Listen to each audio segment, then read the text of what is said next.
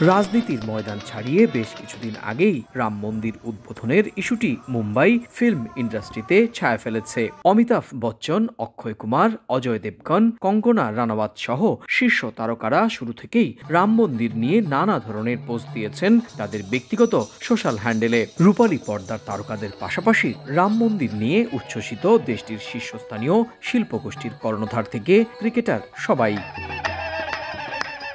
আনুষ্ঠানিকভাবে কিছু না জানালেও গুঞ্জন আছে অযোধ্যায় নিজের থাকার জন্য জমি কিনেছেন বিগ বি সেখানে নিজের মতো গড়ে তুলবেন একটি বাংলো। এমনকি মন্দির কর্তৃপক্ষকে বড় ধরনের আর্থিক সহায়তাও করেছেন মুম্বাইয়ের বেশ কয়েকজন তারকা।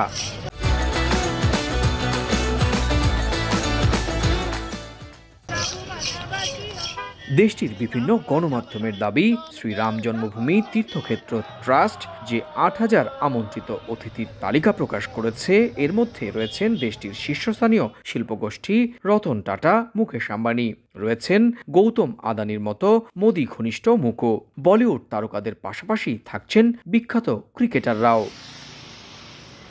সুব্রত আচার্য, সময় সংবাদ, ভারত।